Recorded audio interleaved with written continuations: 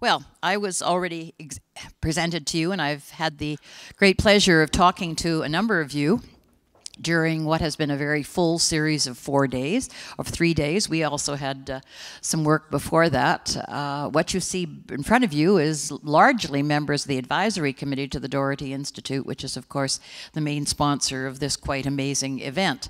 And it has been an amazing event, and the organization and the selection of topics and people has been uh, really exemplary, very impressive, uh, and uh, it really is a, a huge pleasure to have been part of that. Now, we have the unenviable task of trying to kind of put our arms around that and and see what we can draw out of those days. It's certainly not going to recite everything or even try and draw all the lessons learned, but let's see what we can do from uh, four interesting minds uh, and people who have sat here for uh, the last few days and taken some copious notes and even taken part in some of the presentations. So immediately to my left uh, is uh, Rob Meaney. Uh, Robert Meaney, uh, Bob Meaney, and he's the former chair of Valmont Industries. He's the one that looked absolutely distressed when somebody asked what the life of a, um, a central pivot was. He looked completely distressed and said, It can be a lot more than 10 years. So. that was one of my memorable minutes from the conference. And so obviously he has huge expertise in that subject. Immediately to my right is Uma Lele. She's described in your book as an independent scholar, and she's indeed writing a book on some of her experiences. Uh, but she was, for a very long time, at the World Bank and re has really been one of the people who's been a thought leader in trying to put together the whole issue of um, economics, water, agriculture. So we're very glad to have her. Peter Rogers, next to her, is from Harvard, from the School of Engineering and Applied Sciences uh, the water, and he's also on the advisory committee. And Peter, again, is one of the really giant figures in trying to blend together economics, water, pricing, all the things that have been very difficult for our world to put together in the 20th and 21st century. And he's played a stellar role. And Ann Willet is the director of the Strategic Alliance for Food, Fuel, and Water, Nebraska Innovation Campus. I think we better start by saying to Ann, what is that and what are you doing? Well, I have the pleasure to work here at Nebraska Innovation Campus, and my work revolves around partnerships. It's around the many talented individuals here at the University of Nebraska and our private partners uh, here at Nebraska Innovation Campus are those that might potentially come and join us here. Very good. Okay. Now, our ground rules are that there's going to be no presentations. Nothing will be written down if I can't find a pen, didn't you? I have a pen but no paper, so we kind of okay, match up well. Good, okay, I'll give you a piece of paper. Well, you No, I don't You don't need, okay, right. I got up so quickly, I was, oh, here we are, I found one. Okay, our ground rules are very simple. We're not going to have any presentations. Uh, we're simply going to have a discussion about things that we heard, things that interested us in particular, how this uh, maybe foretells some trends and some uh, lessons that we can all, you, us, take out into the world and so we'll do that just by having a conversation back and forth. The panel interventions will be short. If one of them wants to get in immediately after another, please lift up your finger and put a cap on it. And so, particularly if you want to contradict something somebody said, that makes it very interesting. So, uh, the, otherwise, we'll just move the conversation around. But I want to start with the question of you know, we've had a wonderful, rich banquet of presentations, side panels, uh, workshops, poster sessions, all of it. Um, you're a hardened group of water conference attenders here. Did anything surprise you uh, in what you heard or saw in this time? Bob, were there any surprises for you? Um, I'm not sure it's a, it's a surprise, but it's maybe the first time I've, well, I've I've been at a conference where we went into depth about smallholder irrigate, about smallholder farming in Africa or wherever, and there was a strong emphasis on the importance of irrigation to help those smallholder farmers. I've been to conferences where you sit through a couple days and irrigation is only mentioned a few times in passing. I've read books about irrigation, uh, about smallholder farmers and development, et cetera, in which irrigation is, the word irrigation doesn't even come into it. And uh, here, there's a broad consensus and deep consensus that the starting point for helping uh, smallholder farmers who are already farming, they already know how to farm, is to help them have irrigation that matches up to what they need. And uh, the presentations, uh, especially Martin Fisher's, of course, it's so passionate. It's one of the most um, passionate presentations about irrigation and its importance and what, what good it can do for people by putting money into circulation. So that was, uh, and the work that uh, IDE and uh, Kickstart do with very small farmers, they understand these issues so deeply. I think that helped to wake every, everybody up to the fact that we need that. So that was your sort of surprise element. Is this on now? Because they mic me differently. I'm on, okay, good enough. That links to one of my surprises, which was the, uh, the assertion, the realization that sub-Saharan Africa did have renewable groundwater that could be used to support uh, small-scale farmers. That, that was a surprise to me, I guess because I'm very accustomed in the, in the African context to boreholes that go dry, and it had never struck me that with good management, uh, these, that there could be a replenishment of the water resource uh, for, uh, for the, the to make this a fertile notion that you what you've just talked about. So, Uma, surprises? Were you any, were you you're a hard um, lady to surprise? Surprise, yes. It's um, actually since I worked on Africa for many years and seen the problems of irrigation. I, and I come from parts of the world, I come from South Asia and have been looking at issues of water management there. Uh, I am a little less uh, enamored by just the issue of irrigation alone without looking at issues of water management more generally. And what made a tremendous impact on me was the, the first day's discussion we had in the advisory committee about the work on drought management in MENA and how nicely it is being done uh, through collaboration between the university and, and the people in the region, FAO, etc., where each institution is using its comparative advantage to address questions which are going to be very important in the future. So I think in my mind, in the last two or three days, I've been connecting the dots on drought and water management.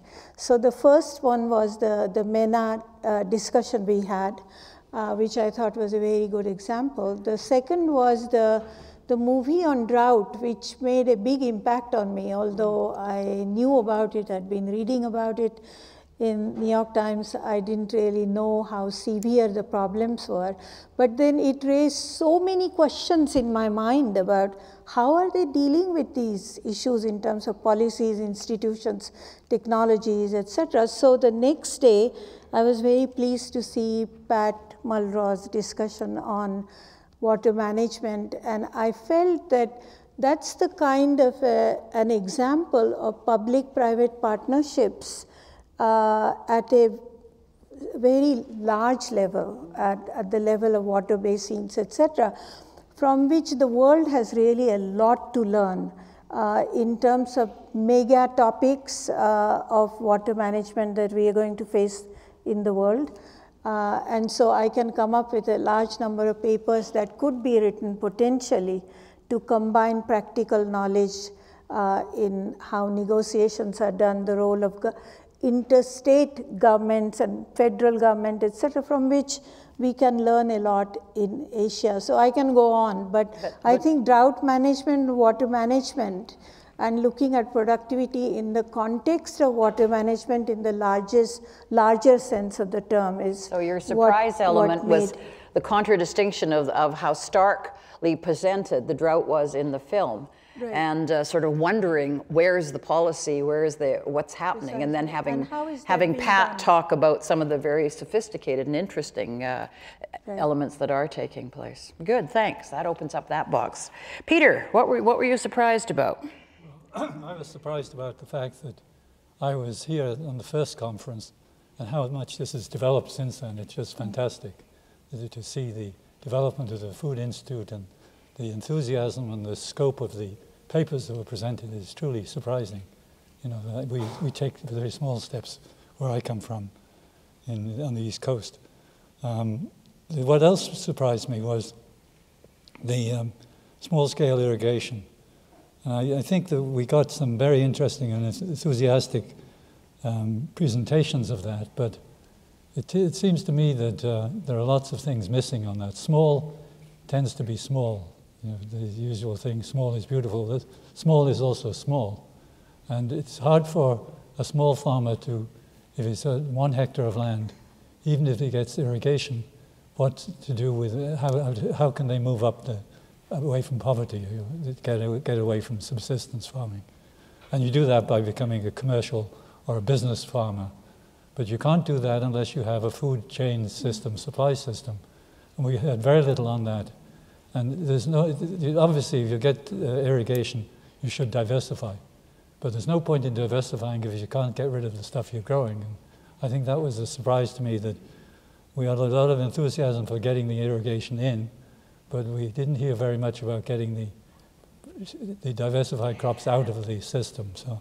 Yeah, it's quite um, interesting that the only person who talked about that was Jain Irrigation, and they said yeah, that they had had to set up systems within Jain to buy the crop yeah. from the farmer if the farmer was going to do just as you said, be able to buy the irrigation.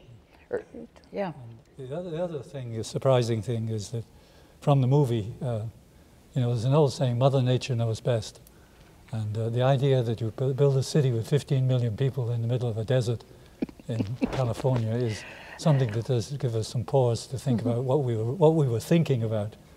And not only what we were thinking about in then, but what are we thinking about right now? Because look at the suburban, I remember in the movie yesterday, or the other evening, the huge suburban development still taking place in California. California yep. is still the golden place for people to migrate to and to demand a, a standard of living which is typically not obtainable in a desert.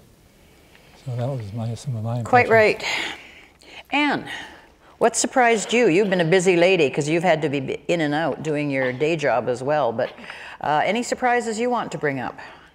Well, I'm not surprised, but I'm amazed and grateful at the number of people who have dedicated their lives and the diversity in the fields of study around this issue.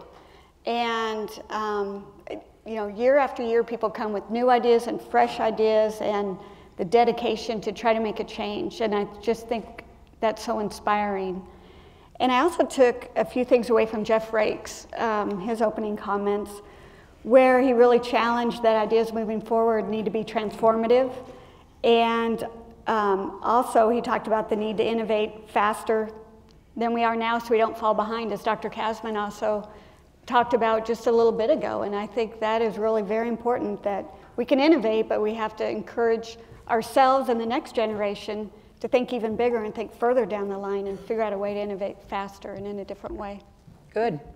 The other surprise I had was the how he, particularly the young people that were at the entrepreneurs group, could take pieces of data and spaces in information management and turn these into products that they could actually put on the market. I was, I was absolutely bouleversé, really, really bowled over. And you had one of the examples here in the Good Earth uh, presentation that you saw.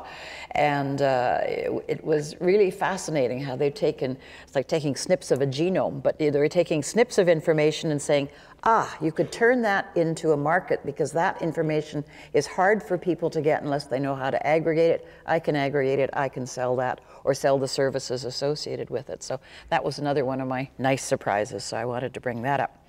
Okay, let's move on to another question, another area.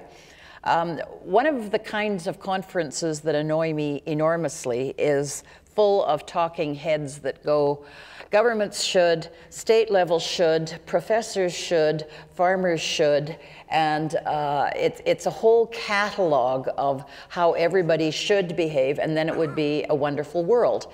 Uh, and there's very little snakes or ladders connecting the should that should be done with how do you actually get this done in the various circumstances that exist. And we've had how you get these things done in Nebraska and how you maybe get them done uh, in the global south. But uh, panel members, are, are we making progress in moving away from should, should, should, should to here's here's how you uh, actually get something done. And I'm not going to go up and down the same time every time, but I'll still start with you again, Bob. Are we making progress? I think so. Well, I, there's, there's so many things I heard at the conference that are things that a university, either University of Nebraska or another one, can look into, can build projects around, and build um, uh, knowledge around. I have to believe that there, and, and there are things related to the things I'm interested in, which are more or less business related. One of the things that I've been uh, confronted with in, recent, in the last couple years working on this uh, uh, shared center pivot project in Africa is um, groundwater and the availability of groundwater and just what does that mean? Because there are a lot of uh, maps of Africa groundwater and yeah. you see them, they, have, they come from different sources in Germany and the US, et cetera. But uh, I've been confronted with the fact that nobody really knows in Tanzania in any one county very much about the groundwater. And um, you stumble upon, actually, I've been told by people in Europe, well, groundwater in Tanzania, good luck. And then on my last trip to Tanzania, I was in a valley that was about 60 miles long and 25 miles wide that's sitting on an aquifer with artesian pressure that actually makes it hard to drill a well. And so I realized that there's a shortage of knowledge about the aquifers as it applies to irrigation. And center pivot irrigation needs a big diameter well and uses a lot of water. Uh, the irrigation for smallholders can start with shoveling the, the uh, you know, the soil if the water is near the, the surface. So it depends always on exactly what site you're working on.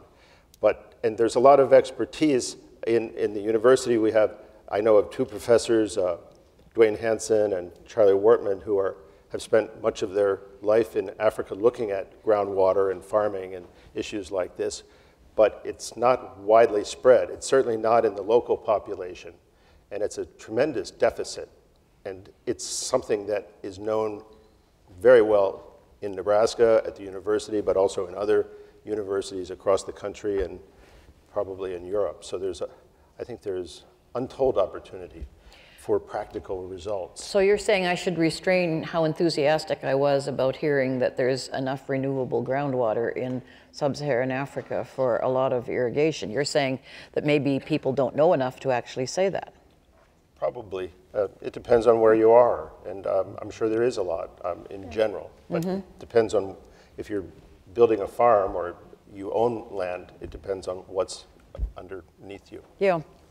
Uh, you know, one thought that uh, came to my mind, and I was very inspired by uh, Jeff Raikes' uh, speech on being a catalytic partner par and catalytic partnerships.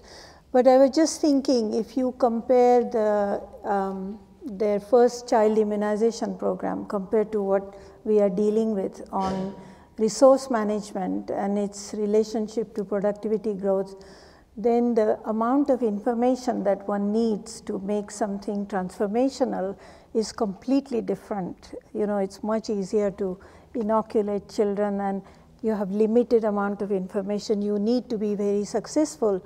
But when it comes to sustainable productivity growth, it's a really big challenge. And I think what I heard here was that, uh, I mean, I heard two kinds of messages. There is um, big data information overload in a way. There's lots and lots of information. And sometimes the farmers were saying, there is information, but we don't really know what difference does it make when we change our practices to even our own outcomes, and certainly not when you take into account externalities of what others are doing, etc. So I think there is there is this need for uh, information to be used at different scales from the farmer to the household to the community level to the basin level and then in case of the story on drought in, in the US interstate level. Uh, and so I think if policymakers or those of us who are working on policy identified what the data needs are uh, and how this huge amount of data could be harnessed to address questions at different levels and whether there is any scope for bringing that together, I think there would be much more return to information, to convert information into knowledge and knowledge into policies and change in policies and institutions. So I'd very much like to see some kind of a theory of change, as I was mm-hmm. talking about, uh, so that how do we get from here, all this information, to how do we actually bring about change? Or how do we get from should, should, should into how you would do it? Yeah. Uh, Ann, do you want to talk about that? How do you get from, you know, you're running an alliance that's supposed to make people do things differently. How do you get from we ought to, they should, to actually how you do it? And how do you get more attention focused on that? And has this conference done it? I think this conference has been really great at sharing a lot of opportunities and examples of what has worked and what hasn't worked. One example that we have here that uh, Mike Weller mentioned during the industry panel, and I don't know if Mike's still here, is the Alliance for Advanced Food Sanitation. That uh, was just announced officially last fall, and it will be housed here at the Food Innovation Center. And this is an idea that actually was brought up by two faculty members um, over in the Food Science and Technology Department. Mm-hmm. And they do a lot of work, obviously, with people in the food processing world, many companies. And through their work, they came up with, they identified a gap. How do we make food processing uh, more efficient? How do we uh, lessen the amount of time needed when they do sanitation around food processing, more specifically to the sanitation? How do we make it so they don't have to stop their line one shift a day and take everything apart and clean it? How do we make it so they can use less chemicals? And in regards to this conference, how can we make that sanitation process so it uses less water? And how it was done was through a lot of work and a lot of trust building and a lot of communication. And so um, a small group here within the university worked with a small group of private industry partners who ended up being our founding partners. Mm-hmm. And it, it took quite a long time. It took a year and a half from that first discussion to saying, what would this look like? How can we work together in a pre competitive basis to have an impact on food sanitation that will result in those outputs that really can make a transformative change, which is what Jeff Raikes talked about in the sanitation world around food processing. And so it, it took a lot of time. We have eight founding members. Um, Mike, who presented at the industry panels from Ecolab. We have others that are joining uh, the alliance who have joined. Nestle, Kellogg, Hershey, ConAgra, Cargill, those colleagues as well. And we're all working together to see if we can have an impact, do the research and validate that research that uh, results in a change in policy. So that's one small way and one small example I think that will have Good. a huge impact. I was very impressed with the food processing panel that was talking about how you actually uh, move to, to meet regulatory standards and to improve the profitability of food manufacturers. Well, uh, well, you know, anyway, I was very, very impressed, and they certainly moved from the should, should, should to the how you get it done.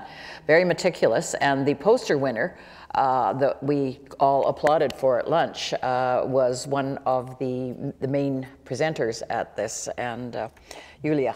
Anyway, Peter. I was at the food processing uh, seminar also. I just wish that we were three people, we could go to each of the sessions at the same time. Cloning, cloning, that's what we need. It's really tough to follow, but I thought that the, uh, the food processing was, uh, they talked about the footprint basically, but the footprint with some real meat on the bones and it was nice to see, you know, the details of uh, the tomato paste production. I mean, I, I know I don't I eat tomato paste to my pasta, but to see what goes into it and the technologies and the, the options that you have in terms of saving water, saving energy, improving the product, producing byproducts from the thing. That, that was a wonderful example, and a couple of other examples in that same panel.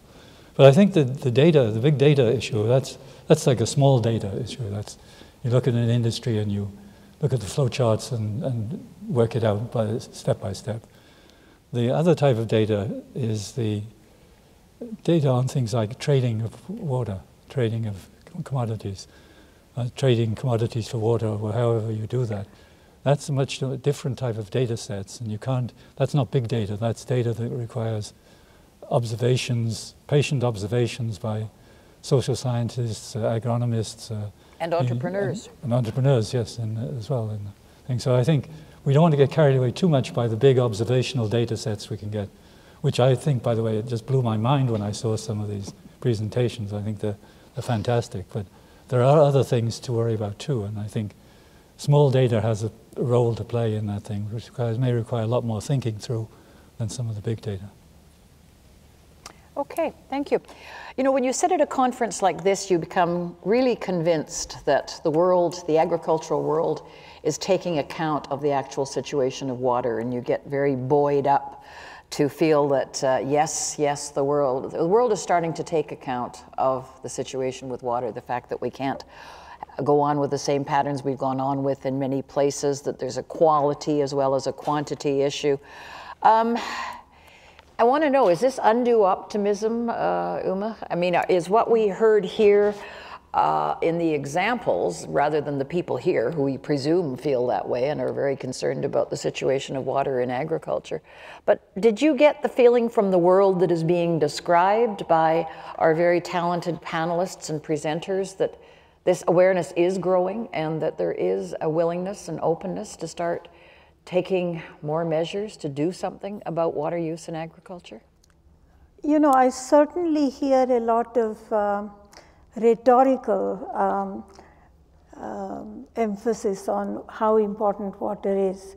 But if I look at um, is there enough emphasis on what it takes to increase water use efficiency in agriculture and what the options are? Uh, I'm very impressed by what I've seen about Nebraska, for instance, and I've said several times that there are probably a lot of lessons to be learned from Nebraska. Uh, I am less uh, impressed by the interstate situation in the US and what lessons are to be learned. Uh, they are much more complex, of course, but um, I, I don't, I, I think the problem of water management in terms of increasing efficiency is so complex once you move from the level of the farmer to the level even of the watershed, etc., uh, that I'm not sure that policymakers have given enough thought to what the data requirements are. I think you made the point about groundwater. I hear two different points of view in India, for instance, about how do we know about groundwater uh, levels, what will it take to know more about it, what implications it has for policy making in different states because the, they may, it may even have to be uh, lead to a shift in production from one part of India to another, etc. So it raises very grand issues in using water efficiently at different levels. And uh, similarly, I think the very strong interaction between uh, groundwater and irrigation in countries like Morocco, uh, where droughts make a huge difference, not just to rain, rain-fed agriculture, but to irrigated agriculture. So we just need to know so much more uh, in terms of data which are relevant for policy making at different levels. And I'm not sure yet that we have that in developing countries to, to a level that one sees in a place like Nebraska, not to mention the political will and the institutional sophistication, the willingness to, uh, to tax uh, farmers to be able to manage water. I mean, you know, you look at many developing countries and it's all subsidies, subsidies, subsidies to everything. Where do you see uh, water charges or even willingness to well, pay for anything? See the opposite. Yeah, exactly. In Saudi opposite. Arabia yesterday, the Minister of Water and Energy was fired by the king because he cut the subsidies, trying to cut the subsidies on water. Yeah. And the, you know, everybody you talk to in the Arab world, of course, the the intellectuals and the academics and the managers all think that raising the price of water would be a good idea, or at least get rid of the subsidies. But this was a young progressive minister in Saudi Arabia, and he was cut off yesterday and fi fired. And so the message isn't, isn't going out in the way it should do, that we're, we're still thinking we can subsidize our way out of these problems. You know, one of the recommendations of the G20 report uh, to the G20 governments is that they should use much more experience from developed, uh, from all countries where things are working and share that experience to see what are its implications for policy reforms within G20 countries. And if that uh, recommendation was ever followed, we would learn so much from what uh, the US is doing, what Australia is doing, and what its implications are for mm. policies in developing countries and vice versa. I think there are other things that developing countries are doing which will work better. Do you see optimism and do you think the world is waking up to, I mean, your world is waking up to the fact that you can improve water efficiency, but what about the need to change water habits and water policies? well, It's good to start with a good example. The U.S., I think, as a country, not just Nebraska, but as a country, has, I think, our peak water withdrawals for irrigation were back in the 80s. And now we use, we remove less water for irrigation and from uh, groundwater and surface water, and yet we produce much more food. So we've done a good job if you look at it globally. Mm -hmm. I'm mm-hmm. sure there, everybody has their horror stories, but um, it's, um, it's a complicated story, and there's probably lessons for everybody in different parts, you know, that are similar. And um, we, the panel this morning, I just thought was a perfect example of a businessman, a, a farmer, and a regulator uh, talking about problems, and you could see the, the behavior was quite civil. It was, they were, of course, on their best behavior. Mm-hmm. But if you go back to uh, when I first came to Nebraska in the mid 90s, it was not quite as civil as that. It was uh, a little bit, and, and they were hit with uh, regulations and laws. It was like bucket of cold water after bucket of cold water because the state, uh, uh, the unicameral is our governing body, and it, it's also a blunt instrument, I think, uh, sometimes when it comes to water policy. So they had to deal with all that, and they did it mainly by solving problems locally and talking them through and coming up with practical solutions and protecting their economy. So, you know, this is a state that hardly has a recession when the rest of the country has a recession. And I think it's because of finding these solutions. So, well, it's certainly one of the stellar examples of changed water management. Uh, but I listened to Ken say that, was it 15%? There's 15% metering in uh, uh, water meter use in farmers. Where was that? In, in Nebraska, in, in many NRDs, they require water meters on, in Nebraska. In, in Nebraska, in many natural resource districts, the, the managers of those districts, which are citizens elected by their neighbors, require high quality water meters on all irrigation wells. But one of your panels said that what the um, because I wrote it down, the number of metered farmers was only 10 to 15 percent. Now, I don't know what that, uh, that figure was about. Does anybody take ownership of that figure? Oh, that was soil moisture meters. Okay, good enough. Good, because my favorite quote of the conference was from John in the, the first panel this morning. John Bergen, he says, if you know how much your water you're using, you're going to cut it back by at least 15%. So, uh, right.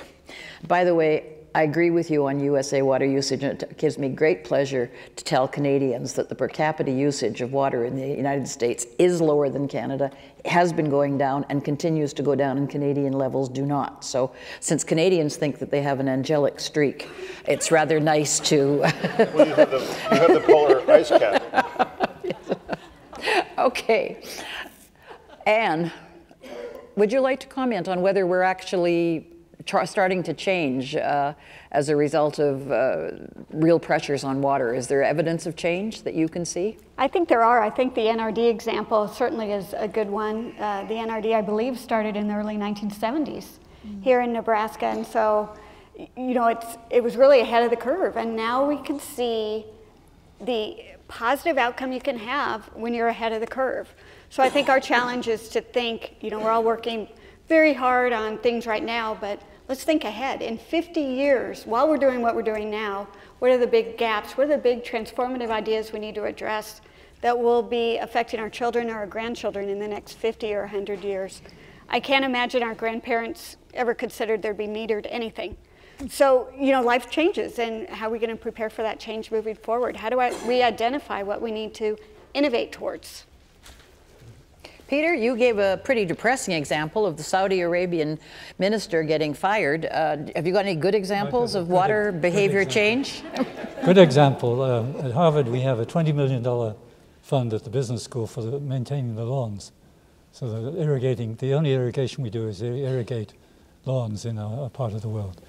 but in the good example is uh, the Boston Metropolitan Water District, which uh, was actually in serious water con- conditions in 1986. They were using 300 million gallons of water per day in Boston.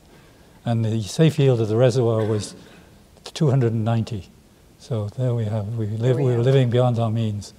And the pl- plans were made to build a new, new reservoir. And of course, what happened was at the same time we suddenly discovered we had to do something about treating our wastewater.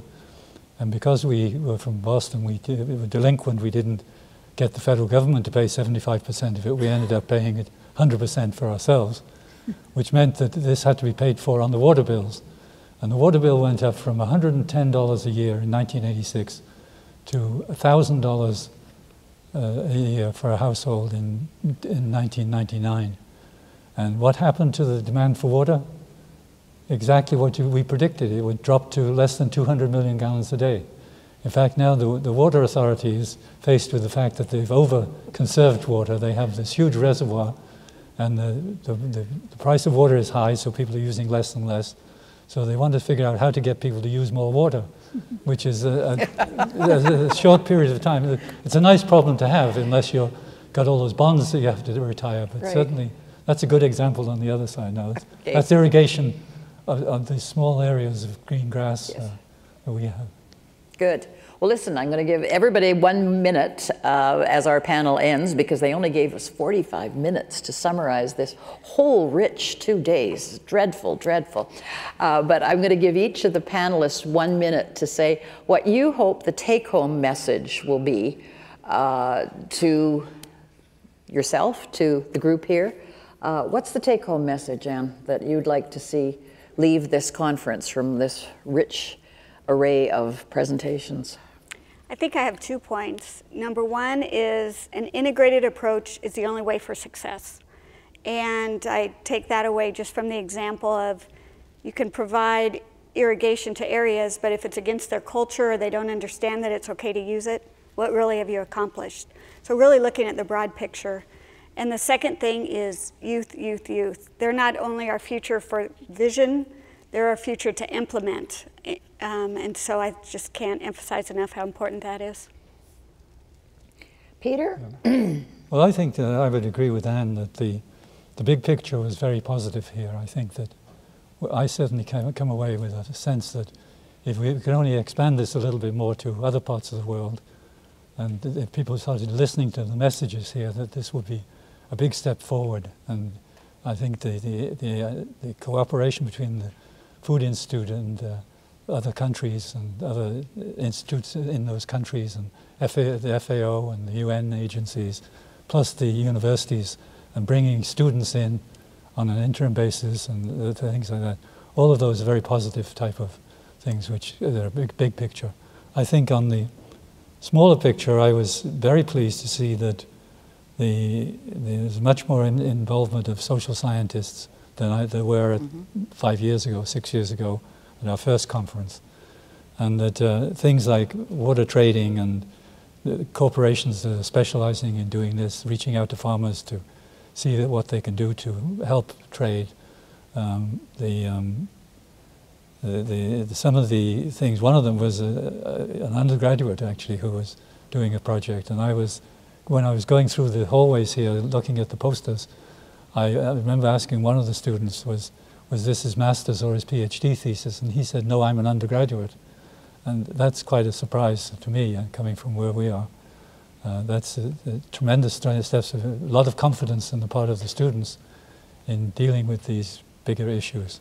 So I think that's very positive take home for me. Very good. And your take home message to the audience?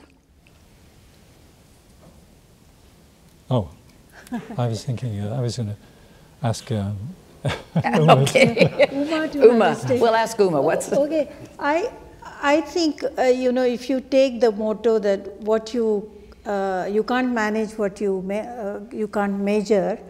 I heard a lot about what is being measured in the US, uh, and I also heard a lot about what is now possible because of smartphones in what you can measure in Africa. For instance, I think these numbers that uh, investment in sanitation has increased, but the people who are using uh, toilets hasn't not only not increased, it's gone up. So it tells you a lot about how SDGs should not be monitored and how they should be monitored by measuring the right kinds of things. So I would really urge that there be more comparative work so that one is comparing, say, Nebraska's experience on water management with uh, a few states in India uh, or China uh, comparatively, very strictly comparatively. So it's also multidisciplinary and one identifies what are the political and institutional preconditions that are necessary in order for things to happen. So it's not just technology, not just information technology, etc., but the much more of a holistic view.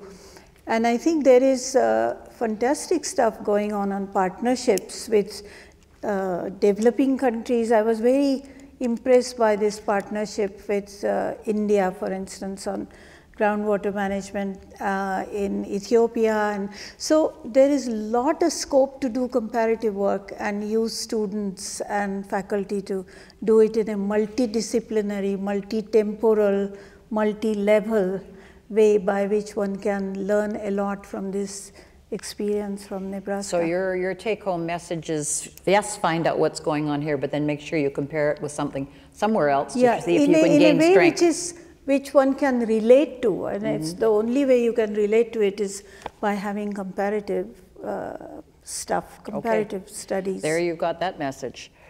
What's your take-home injunction? Um, yeah, I think that there's so much going on in the technical and high-tech area and data management and analytics that I didn't know about, and it lends itself to partnership. It lends itself to universities and uh, mm-hmm. student projects and professor projects and partnerships between universities. And I just have a, it's funny, we're in the midst of an ag downturn, we're at the depth of an ag downturn, but there's an optimistic spirit among everybody. I didn't really hear very much pessimism. I know I, Uma's point about that we have challenges around the world, and we, the solutions we have all in our hands are not necessarily what will get it done. But um, I have a lot of optimism about what can be done. My take home message is this is a marvelous place to have a conference, that the Daugherty Center is a great conference organizer, that we should all be very grateful for them. And I'm also very grateful to a good audience that is still here on the third day of the conference and all awake. And we thank you very much. And thank the panel, please. Thank you very much.